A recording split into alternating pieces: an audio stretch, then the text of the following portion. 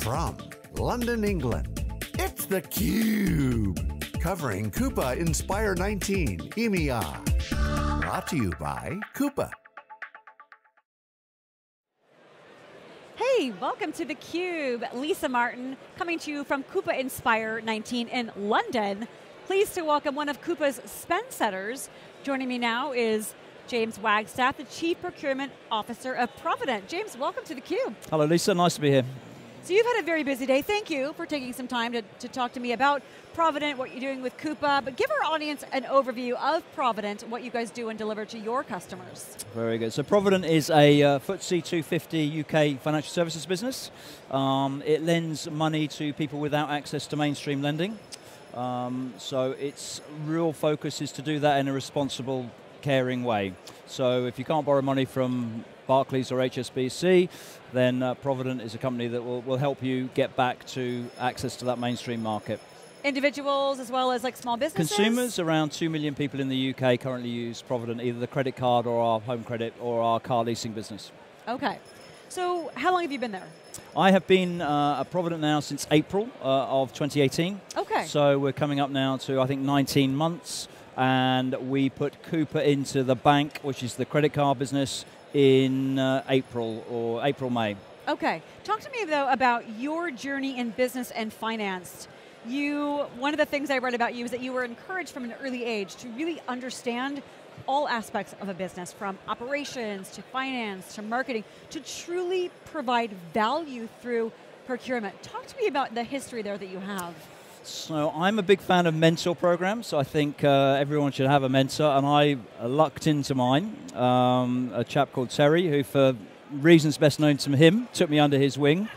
Um, I was quite old when I came to procurement. I was around uh, late 20s, maybe 30, and he had a vision about what great procurement looked like, and it was uh, a holistic uh, view. So procurement at its worst can be very tactical, very cost focused, and Terry was very uh, focused on the bigger picture um, about top line growth, not just bottom line. And right from day one, he uh, seeded that in me, and it's it's been the strength of my career. So I, I owe Terry, Terry Weston, if he's watching, I owe Terry, uh, I owe Terry everything for that. Um, and then I spent the last 10 years as an expat. So uh, prior, prior, to Provident, I had uh, three years as the group CPO for VimpelCom, which is the Russian equivalent of uh, Vodafone or AT&T, um, who had businesses throughout Soviet Union, CIS, and uh, Asia Pac. And then seven years with Huawei, who are uh, China's largest private company, telecoms company, and I was traveling around the world on the sales side, um, facing procurement. So that was a very um, sobering, enlightening experience to see procurement from the supplier side of the table. And I think it's made me a different procurement person as a result in terms of the way that I treat people and relate to people. So that holistic nature um, combined with, uh, I think, a very business-centric view of what procurement should do. Interesting though that you say that, that you said, I got a late start in procurement, but, but your start was founded upon someone giving you very solid advice of look beyond that because this is an element of the business that can, somebody that clearly was seeing how transformative, but also how it was important for procurement to partner and understand different requirements and needs within each division within an organization. So sounds like you didn't really grow up in that traditional siloed approach of procurement. I did not, and I, I think that for me it makes my life interesting. So I think if you're in if you're in procurement, and the danger is you become quite siloed, you're, you're very narrow. And uh, I did my MBA quite recently while I was traveling just to get that, that bigger perspective. It, it makes the job fun. I mean, I, I, think you know you can negotiate contract after contract after contract, but it's the context of what that's doing for the business. Um, and uh, I think when I looked at Coupa as a system, it was with that in mind. So um, looking at Coupa, not from the perspective of what it did for procurement, but how it was uh, for end user customers. So as a service, um, was it really, really simple to use? Did it feel like an Amazon shopping experience? Um, because that drives adoption. And if you can get people wanting to use the system because it's easy, then the data's in the system, and then the data's in the system, you can do something with it. So you're not, you're not fighting that adoption issue, issue that you would be on a lot of systems. So if you go to some of the big ERP systems, they can be really hard for, for people to change and adopt. And, and Coupa's not been like that. It's been relatively easy. Interesting that you talk about it is it needs to be as simple as an Amazon marketplace. As consumers, we're so used to that, right? I yep. mean, people transact daily and get fulfillment of whatever product or service they're ordering from Amazon within, sometimes it's within an hour or two. So we have this expectation and this demand. To we your point though about wanting to have software that would be as easy for your teams to, to take up, that consumer effect. Talk to me about that as an influence. Did you know kind of right away experience with other systems, it might be bigger legacy systems that are challenging to get folks to use because they're not that intuitive. Did you know right away when you came into Provident that I need to have something that is more consumer-like? I knew that we needed a system, and because as a, as a regulated industry, we had to control our spend. So the fact that we needed a procurement system was a given. So then the choice is what do you buy? I think you don't really need a big ERP unless you really want to spend a lot of money on uh, system integrations uh, and complexity. So you're then into the mid-market space, and um, there's a lot of vendors out there that have had a, an on-premise uh, model, been around a long time, but you can feel that when you use it. So I didn't do a paper-based RFP. I think that's a, probably a terrible way of evaluating systems because you can get a, a function list on paper, but that doesn't really tell you what it's like to use. So the procurement process uh, was around video uh, online demos, so getting users into the room, uh, three hours for an online demo, walk through the system. Um, so it was a very non-traditional procurement process to buy a procurement system. Um, and I think at the end of that, I think I think it was a more valuable process for it. Uh, was that something that was driven by you, or was that something that was driven by Coupa? Is that how they deliver that type of experience? It it was driven by me, but I think it was welcomed by Coupa. I think I think from uh, the sales guys, I think they do an awful lot of paper-based RFP, and I think it's uh, it's a challenge um, because it's very hard to differentiate on paper. Actually, they a lot of the systems kind of do the same stuff, but it's not what they do; it's how they do it and you can't you can't get that out of the paper. You have to see it and feel it and touch exactly. it. Exactly. Well, one of the things that Rob Bernshteyn talks about, and he spoke about it this morning, is that the best UI is no UI, and he really talked about what they've done to be user centric, um, and talked proudly about the adoption that they've had. And you know, it's we all know whatever software you're putting in an organization, all these, you know, whether it's marketing, finance, operations, sales if people aren't going to use it, it's not going to be able to deliver the value that whoever purchased it and brought it on needs it to do.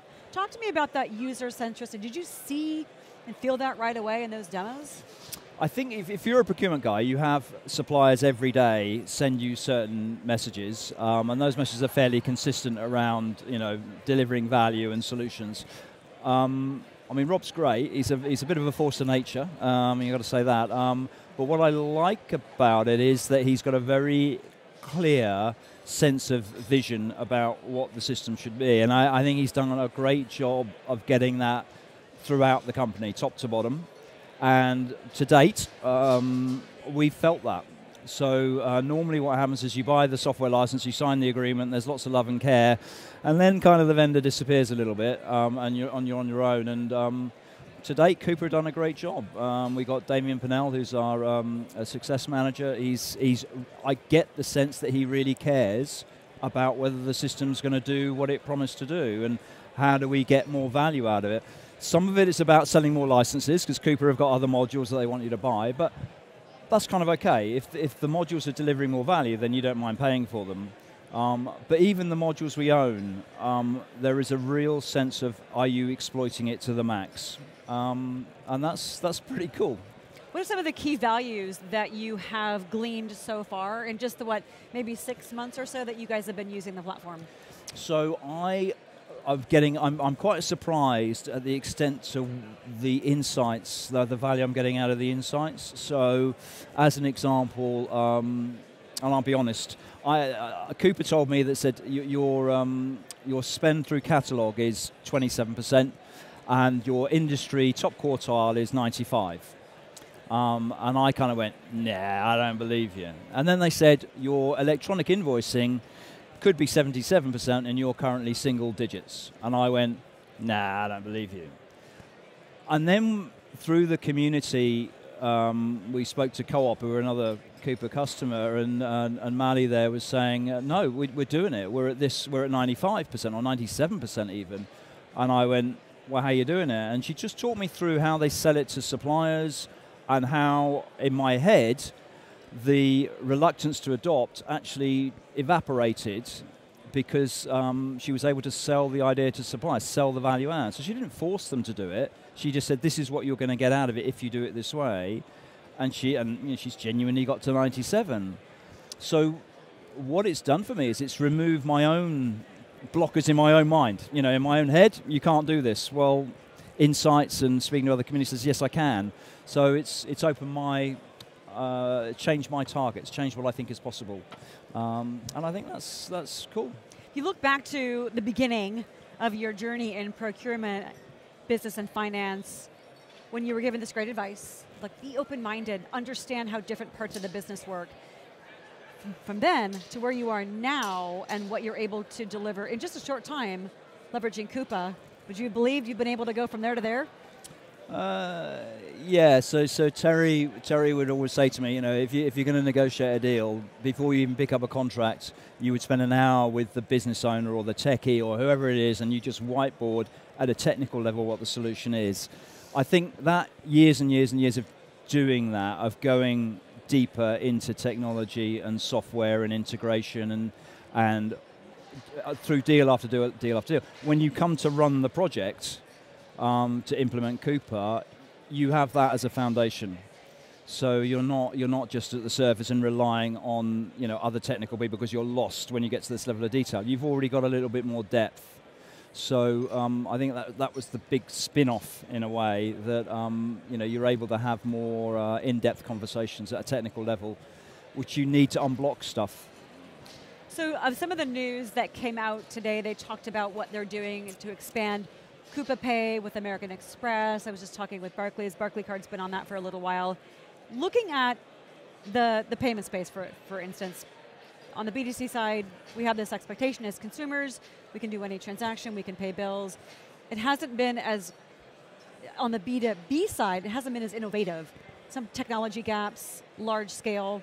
What do you see Coupa in that respect with what they're doing with Coupa Pay? Do you see that influence from the consumer side that might eventually become an important part of what you're able to do at Provident? I do. I haven't. We haven't enabled Coupa Pay, so I'm, I'm not in a position to talk authoritatively about in it. In terms I, of the, taking the consumer kind yeah. of demand. I so I look at the one-time use credit cards, and I'm really quite excited about what that could do, and I, I kind of get the business sense and the use case behind that. So um, that's certainly on our radar. Um, I like the risk-aware products um, as well, using the um, uh, big data, uh, the big data and AI stuff. So um, there's a few things in the roadmap that I've got my eye on. Uh, we're deploying expenses module um, in December, January, so that'll keep us busy on that. and then we need to route six months of data through Coupa so that we've got enough of a, a data pool to do the analytics. So um, we've got a busy roadmap, that's for sure. For last question for you, James, for peers of yours, whether they're in financial services industry or not, that are facing similar challenges and opportunities to transform procurement, what's your best advice? Mm. Go and spend a few years as a supplier. Um, I think procurement suffers a little bit from people who have only ever been in procurement, and I think that different perspective um, would be enormously powerful. So I think if we could get more marketing people and more lawyers and more different people from different professions into procurement, I think it would give you a broader perspective um, rather than a I've grown up in procurement the last 20 years sort of perspective. So go and get that holistic um, global view would be my uh, uh, my suggestion. Well, James, that's great advice. I think for anybody, anywhere, and I'm sure Terry would be proud to hear you say that. I'm sure he would. Thank you so much for joining me on theCUBE and sharing with us what Provident is doing with Coupa. We appreciate your time. Been a real pleasure. Thank you, Lisa. Excellent. For James Wagstaff, I'm Lisa Martin. You're watching theCUBE from Coupa Inspire 19. Thanks for watching.